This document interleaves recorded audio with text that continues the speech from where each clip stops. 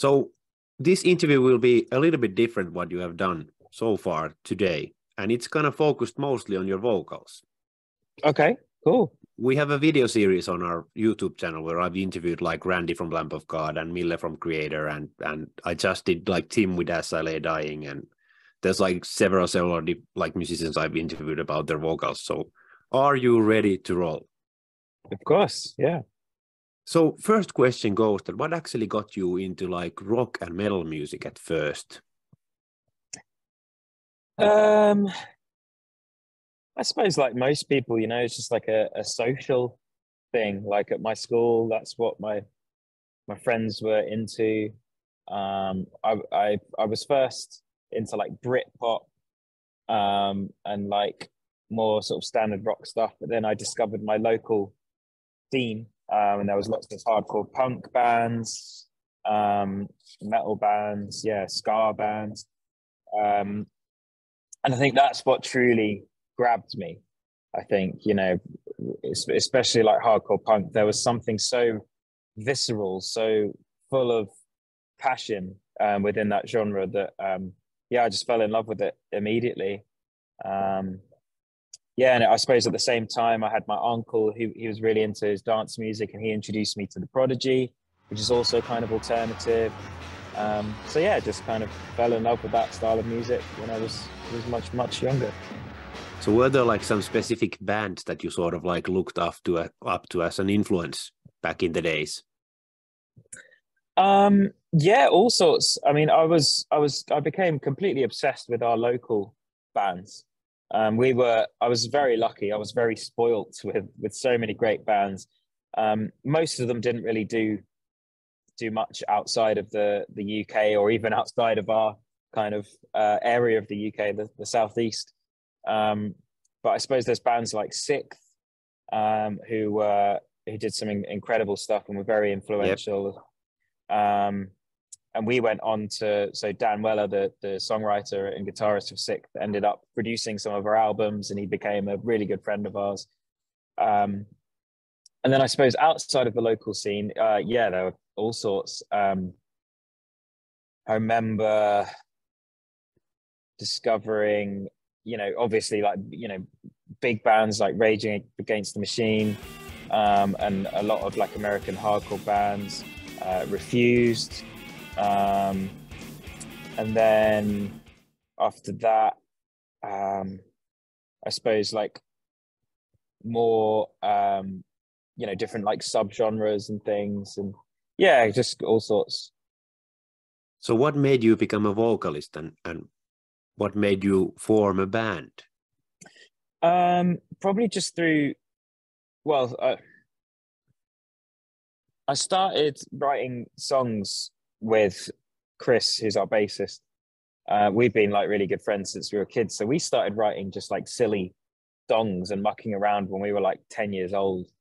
Um, and then I became much more interested, like properly in songwriting as I got older. You know, I got I got a guitar, um, and was writing. I remember one Christmas I got a, a four-track tape recording machine, um, so I, I was a songwriter first and it was in bands with Chris and with, with other people. Um, and I liked singing, but I never really thought that I was like a front man. Um, but I think after a while with playing in like rock bands, I, I really wanted to experiment and I got myself like synths and sequences and things and wanted to include more um, like electronic influences and that's when I thought, well, I'm going to stop playing guitar and I'm just going to be like the singer and also do some synth stuff. Um, but yeah, it's just just really through through necessity, I suppose. You normally when you're the songwriter, you end up singing the songs as well. So was Enter Shikari like your first proper band that you had, or were you in bands before Enter Shikari was formed? Um, before Rory, our guitarist, joined in 2003, and that's when we became Enter Shikari. Before that, we were a three piece. So me, Rob, and Chris were in, um, yeah, with a band of varying different forms. Sometimes we had we had other members as well. Um, but yeah, the the one just before Enter Shikari was called Hybrid. Um, we sort of sounded like a mixture of Muse and Radiohead with like extra all sorts of other influences like ska influences as well and yeah it's kind of strange progressive progressive rock but yeah in 2003 that's when um, shikari formed so when you started playing with shikari were you like immediately making your own songs or or were you like rehearsing some covers in the early days and and how did you sort of like become a, like a screaming slash like more harsh kind of vocalist mm. Yeah, well, I, I, suppose the first bands I was in were cover bands. You know, uh, me, Chris, and Rob used to play with two other guys, and we would play like school fetes and people's birthdays, and we'd be covering Beatles and Oasis and Blur and things like that. Um, and then as I became more of a a songwriter, like a and, and sort of took myself seriously, um, then yeah, just started writing my own stuff and playing more of my own but by the time we were Enter Shikari, yeah, it was just I mean, it, we weren't playing covers by that point. It was just our own music. Um, and I suppose, yeah, I remember. I remember there was just a an excitement around alternative music because our five piece was still very Britpop, and we were like about twelve at the time. And our local venue, when we went there, you know, we'd we'd watch these hardcore punk bands, and I'd be like, oh, I want to be more like that. I'm I'm kind of bored of of Britpop now. Um, and I remember the other two guys that we were with in the band weren't really interested. I think they were a bit like scared of that scene. Um, you know, a lot of people thought it was just, especially that this venue in our local town, people thought it was just like drugs and fights and things like that. But um, actually, I think it was quite a positive thing because it got it got kids off the street. You know, it gave them like a, a community. It gave them something like solid um, and a sense of belonging. Um, and so, yeah, we just felt really allured by that and really um, excited by that whole scene. Yeah, and so just because that was the music we were beginning to listen to, we tried to replicate it at first. So you know, we we went through a stage when we just we just sounded like a, a normal, you know, very average hardcore punk band. Um, and then yeah as i say then we started to, to experiment with synths and i think I, after a while i realized that i could never just be like in a hardcore band because i like melody too much. Melody is so important to me. I, I grew up with motown and northern soul and, and obviously the beatles and stuff like that. So yeah i realized that actually it was what i was most interested in is was making music that was a a collection of different influences um, and had all of these aspects to it. So how did you learn to scream then? Was it like were you like first like mimicking your favorite vocalist and then sort of like figuring out your own way to do things or or how did that actually happen for you? Yeah, it was just uh yeah, just a bit of mimicking, a bit of trial and error. You know, I even when we were recording our first album, I was still didn't really know what I was doing. I never had any lessons. Um, so during recording "Take to the Skies," I actually had vocal. I had nodules on my vocal cords, which is um, quite a dangerous thing. Um, and so that's why that album's my vocals. I just I can't really listen to it because I just hear pain. oh, okay. I was actually so, just listening to it like before this uh, interview, and it still sounds okay. like amazing to my oh, ears. cool, cool. Yeah, well, it's it's um yeah, it's def- it definitely had a a vibe to it, but um yeah, I I just eventually as the years went by, and you know we did we toured so much, so I sort of learned what aspects um of, of what techniques would damage my voice and what techniques would be okay. Um, and you know i'm still learning things today um, but it's I, I like experimenting. I like finding out for myself you know. I like the process of failing and then building on what you learn and progressing so what kind of memories do you have when it comes to like the first proper european tour you did were you sort of ready as a vocalist back then or was it like a massive learning experience did you have the stamina to do like show after show after show um no, I think I mean back then I'm sure I did a lot of the a lot of the shows just running at like 50%, you know, because I was I was probably drinking a lot. I was probably my throat was probably dehydrated. Um, so you know, I'm sure that the the shows weren't half as good as as how they are now, where I take take things a lot more seriously. Um, yeah, but I remember that some of those early tours, we were so lucky. You know, we got to play, we got to support Linkin Park um, in a European arena tour. We got to support Prodigy. Uh, Billy Talent, I think, was the first arena tour we did in in Europe back in like 2007 or 2008. Um, yeah, so th- those were difficult tours, and I was, you know, all the time I was I was watching the bands we were playing with, learning new things and learning new, new techniques and. Um, yeah, it was a, a fascinating time. So did you already back then had some kind of like warm up routine and, and how much has that actually changed through the years? Do you nowadays have a specific warm up routine that you follow before the shows? Not really. I, I went through a few years of doing very rigid warm up routine, but I found that it didn't seem to help me any more than just singing along to any music that's on. Um, so these days, I actually don't really, you know, I do sort of like range warm ups, you know, like, you know, the typical yep. stuff like that, um, and like breath work and things. But I don't really, I don't really do anything too technical in terms of my warm up. I find my biggest revelation with my voice is just being hydration and how important that is. Um, something that I remember, um, so Chris, our, our bassist and another vocalist, he's had a lot of lot more problems with his voice than I have. I think I've been quite lucky.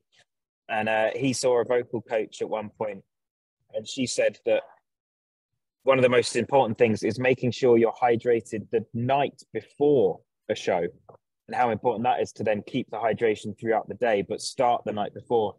And that's been super helpful. Um, so now, you know, I'm, I'm like, if it's a show day, I'm drinking four liters of water a day. I'm not drinking alcohol before the show. Um, and these things just make so much of a difference because normally, let's say four shows into a tour, my voice would be down to sort of 70%. Um, you know, still okay, but I wouldn't be, I, I would have to concentrate you know, I wouldn't be able to just sing and everything would be fine, and I would just be able to live in the moment. Um, that would never happen. But now, with the tours we've done this year, because I haven't drunk any alcohol and because I've been drinking water, my my voice has just stayed at 100%, and that's something that's never happened. So you know, I'm still learning, still learning at the as even when I'm in my mid 30s now. So are there like some foods or drinks that you wouldn't rather have before the show that you have felt, for example, that they affect your vocal cord somehow? I suppose anything that dries you out, you know, spicy food is not good. Uh, I'm not very good with spicy food anyway, so that's fine with me. Um, yeah, other than, um, I think some people say like, oh, drinking um, like spirits is better than drinking like beer or wine. I, I think alcohol just dries your throat out regardless. Maybe there are some um bit some types of alcohol that are better than than others for that, but um for me it seems to always do the same. Now that, that doesn't mean that I'm like never going to drink alcohol before a show. Like of course that's I want to do that and I will. Um but I I will make sure that I'm piling water at the same time. Um, there's also a the only throat coat that has worked for me.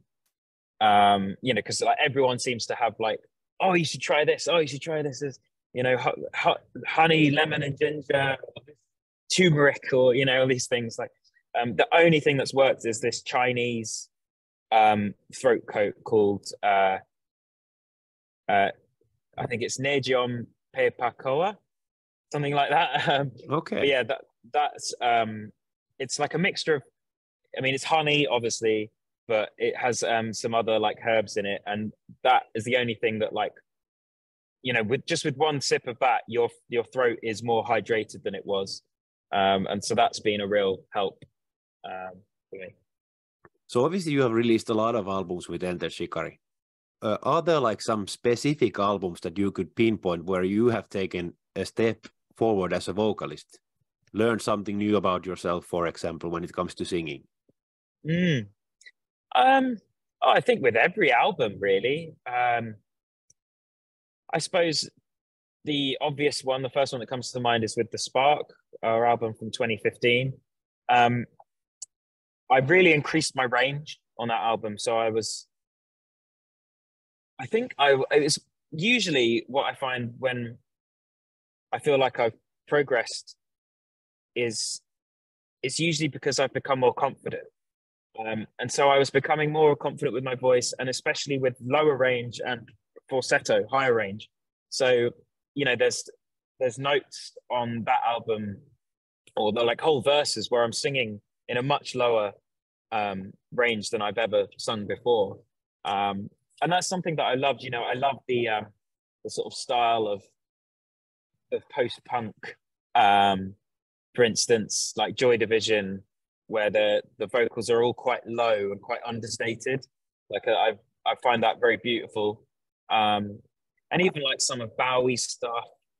Um, and it, you know, for instance, if I was to do um, karaoke, my normal go-to for karaoke would be Sinatra. So okay. I do. So I like singing in that sort of more of a tenor range.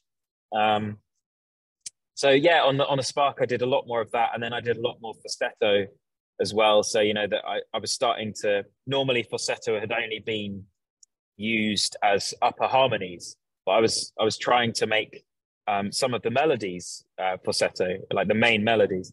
Um, and that was something, yeah, that took a lot, lot of time to build up confidence to do. But you know, you get more uh, self-assured with your your vocals as you as you go on and you practice and you learn things, and yeah, just step by step, built up the confidence to include those techniques.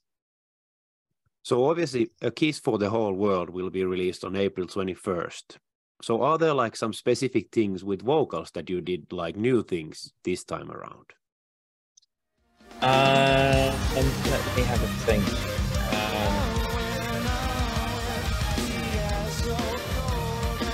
Um, I think there's, you know, there's things like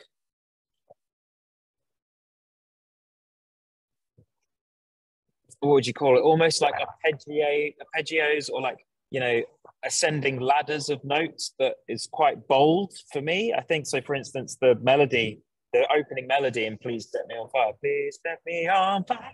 You know, a lot of these like ascending um, melodies. Um, and again, a, a, lot of falsetto, which is, is something I would have never done like a, a few albums back. Um, then there's like there's little moments of, of inward like inhaling screaming which i love so in um shit, what's the song? Oh, yeah, Leap into the Lightning. There's a moment of an inhale scream. Um, I like like putting little bits of that in there. Um, there's there's a bit more um, willing to manipulate vocals and process them. So, for instance, our latest single, Bloodshot, the hypnotize, I'm so hypnotized, it's um, very processed. Um, and for me, that's also interesting because that song is all about how social media manipulates us and, you know, makes us angry about things that may not even be true. you know, it, it, kind of hypnotizes um, and, and makes us more tribal and makes us hate each other and all these things. So I thought it would be interesting to therefore also make the vocal, manipulate the vocal very heavily.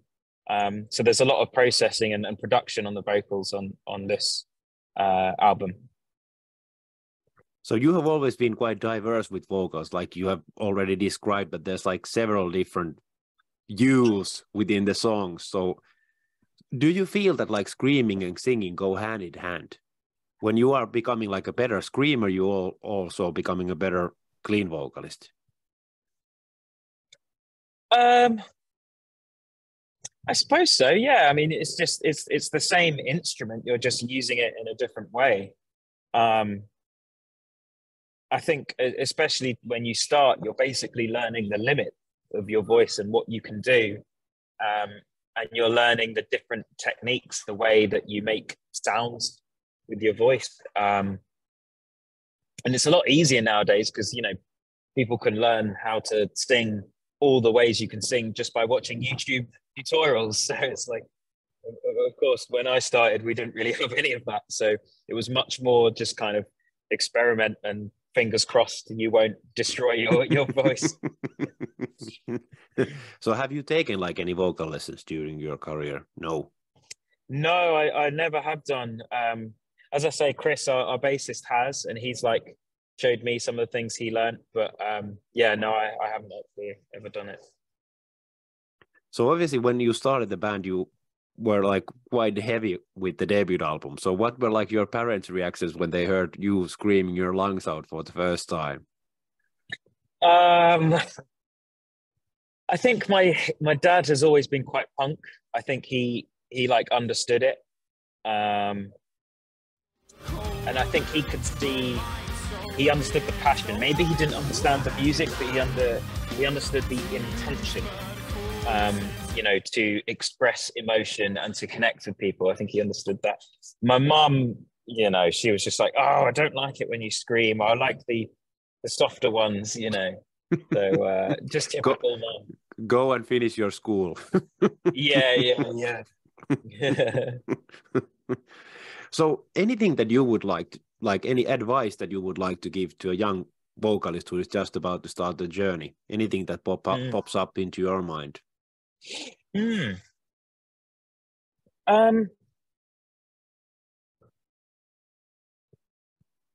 I mean, I would, yeah, I, I would love the the wealth of resources that people have now online. If I would have had that when I was younger, I'm sure I would have learned much quicker. I'm sure I wouldn't have got vocal nodules, uh, you know, and all, had all these issues and things. But um, so I would say, yeah, just learn as much as you can about your voice. If you want to do that naturally, that's cool. If you want to do that, you know, via tutorials or having lessons, that's cool. Everyone's everyone learns in different ways, don't they? So um, yeah, just experiment and find. You know, it, it can almost be a cliche, like find your own voice. Like, well, what does that mean? Um, I think it's just about discovering what feels good, what what feels genuine as well, because when when we start out, we are mimicking, whether we know it or not, subconsciously or consciously, we are mimicking what we've heard so far. And so it's working out where your voice fits. And is your voice a mixture of all these persons' voices? Probably is. Um, so it's yeah, it's working out where you where you sit in a, in your influences. But do you think that you would sound the same if you would have had all those tutorials, or do you feel that you would sound pretty much like all the vocalists who are going through those tutorials and, and sort of learning well, the same sound. yeah exactly exactly um, yeah i'm sure it would have it would have limited me because you know some of the tutorials as well are actually just wrong. You know they'll tell you not to do something or that you must sing like this. When actually it is it's just a muscle. You know you can use it in lots of different ways. Now yeah there are ways you can damage the the muscle but um if you if you're protective of it and if you're in tune with it you know if you're like very conscious of how you feel when you're singing then i think you'll you'll be, begin to have an intuitive understanding of what you're doing. Um, and yeah i think some some people perhaps will have been limited by by tutorials and things because um, they wouldn't have, found out anything else about their their own voice their own way. So, hey, Rou, thanks a lot for taking the time to do the interview with me and, and all the best for the release of the upcoming album as well as for the future. Anything you want to say as a closer to all the Finnish fans? Ah, no, well, yeah, thank you so much for having me, man. Um, yeah, hopefully we get back to, to Finland this year. We're, we're booking all sorts of tours at the moment, so I'm sure we will. Um, but yeah, appreciate it. Thank you so much for the support. Thanks for doing this with me. Oh, good. My pleasure. And enjoy the next interviews. Thank you so much. Take care. Take care. Bye. Ciao.